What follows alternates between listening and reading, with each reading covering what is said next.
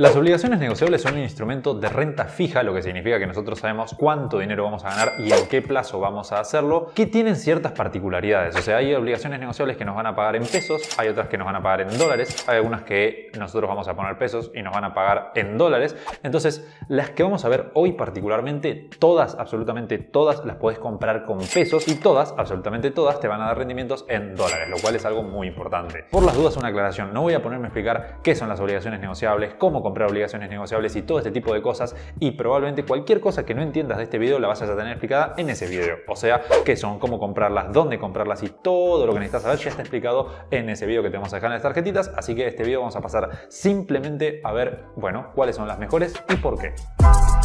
Ahora entonces, la primera de las obligaciones negociables que vamos a ver la podemos comprar tanto en pesos como en dólares. Y probablemente si seguís sin ver no sea ninguna sorpresa para vos encontrarla acá. Y es IRC9O si la querés comprar en pesos o IRC9D si la querés comprar en dólares. Como te digo, cualquiera de las dos opciones vas a poder adquirirla de la forma que vos prefieras. Y después, cuando quieras venderla, vas a poder venderla en la moneda opuesta también si querés hacerlo. O sea, puedes comprar en pesos y salir en pesos, comprar en pesos y salir en dólares, comprar en dólares y salir en dólares o comprar en dólares y salir en pesos. Eso depende de cada uno. La forma de encontrar las obligaciones negociables es muy sencilla. Vamos a ir a la parte superior donde dice cotizaciones. En este caso estoy en Bull Market, que muchos me preguntan si voy a seguir en Bull y la respuesta es probablemente no, pero eh, ya vamos a explicar en otro video, no quiero hacerlo demasiado extenso este. Así que vamos a ir a la parte de obligaciones negociables y acá vamos a buscar el ticker de la obligación negociable que queramos, en este caso IRC9, como puedes ver tenemos 9O y 9D, como te decía antes, elegís la que quieras y compras la que quieras si es que querés comprar alguna. Y esto es muy importante. Nada de este video es una recomendación de compra o recomendación de inversión. Simplemente son las tres que me parecen mejor a mí y los motivos por los cuales me parecen las mejores. Ahora, todos los datos que voy a mostrar a continuación, como te decía antes, son datos que ya están explicados en otro video de cómo encontrarlos, por ende no lo voy a explicar ahora, así que pasamos directamente a la información. En este caso tenemos la carta de IRSA de este 2022, de junio de este 2022, y me parece interesante mostrar este gráfico básicamente que dice las ventas de los locatarios en millones de pesos básicamente y vemos como del 2007 al día de hoy, básicamente el 2022 que estamos grabando este video, han tenido distintas fluctuaciones y como el mercado siempre se maneja básicamente por ciclos, hemos tenido el ciclo alcista, el ciclo bajista luego, pero un dato importante es que en el 2021 vimos el valor, uno de los valores más bajos desde hacía años, o sea, desde los últimos 15 años aproximadamente, vemos que el 2021 fue uno de los años más bajos de todos en lo que es venta de inmuebles, que es a lo que básicamente se dedica esta empresa, una empresa del sector inmobiliario. Aún así, teniendo esto en cuenta, IRSA pagó sus obligaciones negociables. ¿Qué significa esto? Básicamente que es una empresa que desde ese lado nos da un buen nivel de confianza a los inversores. Ahora, este año 2022 vimos cómo prácticamente se duplicaron las ventas obviamente, eh, digamos, de estos mismos valores de inmuebles. Y en ese caso vemos evidentemente una gran mejoría, lo cual nos deja absolutamente tranquilos, o un poco más tranquilos al menos, de que IRSA tiene capacidad de pago de obligaciones negociables, o sea, de pago de deudas. Pero ahora nos venimos a otro PDF básicamente para ver el estado de balance de la empresa. ¿Qué es el estado de balance? Básicamente es un estado contable. No nos vamos a poner a profundizar acá, simplemente vamos a ir a la parte más simple y fácil para que vos lo puedas entender perfectamente en caso de que no tengas conocimientos contables o sobre inversiones. Pero si los querés y querés profundizar, más adelante vamos a hacer algunas aclaraciones. En definitiva, venimos a la parte de donde dice activo, ¿sí? Más específicamente la que dice activo corriente. ¿Qué significa esto? Que es el dinero que la empresa tiene disponible para gastar de acá a los próximos 12 meses. Como puedes ver, si yo voy a la parte donde dice total de activo corriente, vemos que el valor es de 42.000 aproximadamente. Este 42.000 en realidad está en millones, o sea que serían 42.000 millones de pesos, pero nos vamos a quedar simplemente con el 42, ¿ok? O sea, tenemos 42 de activo corriente, 42 pesos, vamos a decir, que la empresa puede gastar de acá a 12 meses. Si nos deslizamos hacia abajo, vemos que el total del pasivo corriente, el pasivo es básicamente la deuda que tiene la empresa, por decirlo de alguna forma sencilla, es de 86. Entonces, la empresa tiene para gastar 42, pero debe 86, o sea, debe más del doble. ¿Qué podemos especular en base a esto? Bueno, básicamente que es una empresa que tiene un poco de riesgo de liquidez, porque debe más de lo que tiene, así que mucho cuidado con eso. Ahora, ¿por qué esa es una de mis empresas favoritas si tiene este problema de liquidez?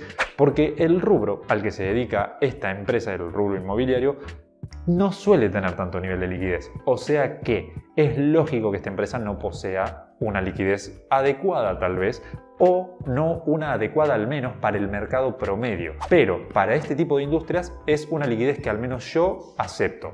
A esto también le tenemos que sumar el hecho de que vimos como el 2021 pagó sus deudas a pesar de haber sido un año malo. O sea que este año, siendo un año mejor, un año favorable, tenemos entonces todavía mejores perspectivas. Ahora nos venimos a otro PDF y en este caso vamos a ver cuánto paga la empresa. Vamos a hacer un zoom acá. Como podemos ver, una tasa nominal anual del 10% es la que nos ofrece IRSA específicamente. Y el vencimiento es a básicamente, bueno, tres años de cuando fue emitida, que básicamente vence el año que viene, en el 2023. Eso simplemente como dato, pero vamos a seguir evaluando la capacidad de pago de la empresa. ¿Y cómo lo vamos a hacer? Muy sencillo. Vamos a evaluar un ratio que se conoce como Debt Equity. Debt Equity es básicamente Debt significa deuda y Equity significa patrimonio.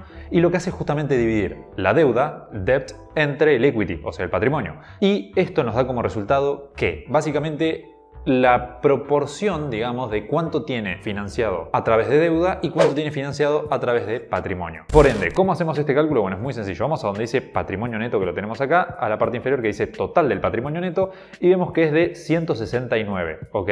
Y luego, más abajo, vemos que el total del pasivo es de 203, o sea que dividimos 203 entre el valor que teníamos de, de equity, básicamente, el del total del patrimonio de 169. Por ende, el debt equity es el que te está apareciendo en pantalla. ¿Y qué significa esto básicamente? Bien, significa que la empresa tiene unos valores de solvencia totalmente aceptables, porque el valor que solemos buscar es 2.5 más o menos y de ahí para abajo, o sea, que a más bajo sea, mejor. Y este valor es menos de la mitad de ese número, por ende está muy bien de solvencia. Ahora, si hay cosas que te están quedando en el aire o si quieres seguir profundizando en esto que se llama análisis fundamental de acciones, te vamos a dejar nuestro curso ahí para que puedas profesionalizarte en este campo empezando completamente desde cero. Y además quiero darte un tip súper, súper rápido, efectivo y fácil para ver cuándo vencen las obligaciones negociables y qué rendimiento te van a dar, porque es algo realmente muy útil y que no tengas que estar entrando a la web del MAE y empezar a buscar por ahí a ver dónde está este valor, porque encima no en todos los papeles está y no siempre es fácil de encontrar, así que vamos a ver una manera fácil y rápida. Una vez que estamos en el broker que vos utilices, en este caso tengo Bull Market, vamos a la parte de operar y acá cargar orden.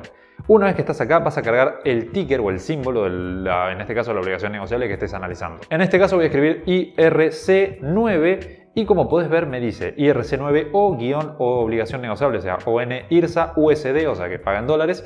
Y tenemos que dice 10%, ese básicamente, bueno, el interés que nos va a dar de forma anual. Y a la derecha tenemos cuándo vence, que básicamente es en el 2023. Por último, otro valor que te puede servir para vos a la hora de analizar acciones de este estilo, lo que vas a hacer es comparar básicamente si ganó dinero y redujo la deuda. Esas dos cosas son muy importantes. ¿Y cómo haces para verlo? Bueno, muy fácil. Como puedes ver acá tenemos la columna del año 2022 y al lado la del 2021.